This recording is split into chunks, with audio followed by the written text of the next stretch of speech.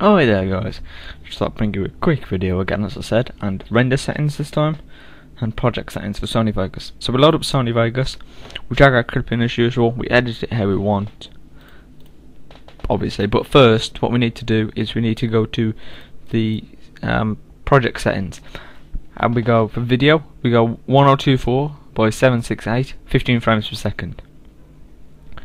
I don't know if that comes up automatically, but if it doesn't, just follow me. Width 1024. Height 768. Field order non progressive scan. Pixel aspect ratio 1.4568 PAL DV widescreen. Output rotation 0 original. Frame rate 15 multimedia. Stereoscopic 3D mode off. Pixel format 8 bit. Full resolution rendering quality good. Motion blur type Gaussian the interlace method, none, and then untick the next two bottom boxes. Audio, um, master bus mode, stereo.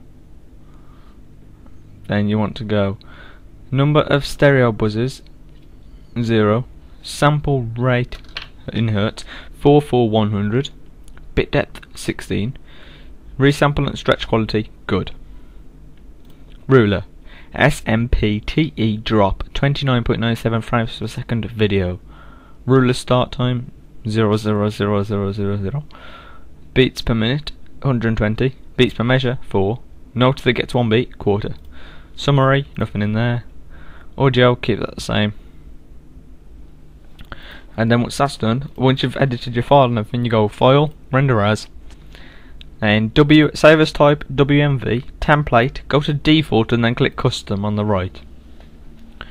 Um, on the first tab or the audio tab tick include audio mode quality VBR format Windows Media Audio 9.2 attributes VBR quality 98 48 kilohertz stereo VBR for the mode you want v CBR on the next tab video mode CBR format Windows Media Video 9 Image size high definition 1280 by 720 Pixel aspect ratio 1 Frame rate 25 PAL. Seconds per keyframe 4 oh, then tick override default compression buffer seconds 3 Video smoothness 94 Bitrate I've got internet slash LAN ticked.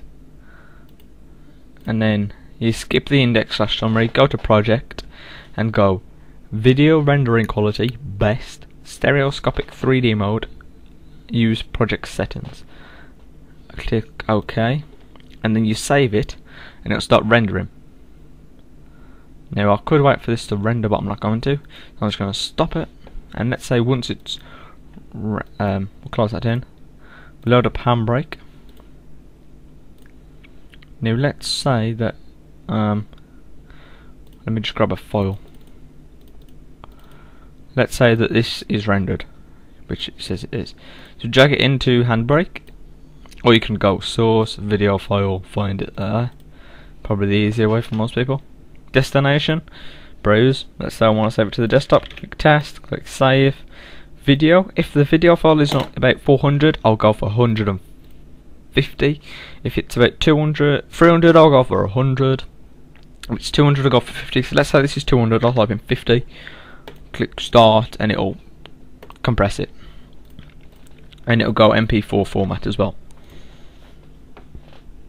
Uh, but then you close that down. Load up the internet and go to YouTube. We now click upload and we upload it by clicking there. Click click the video file and upload. There you go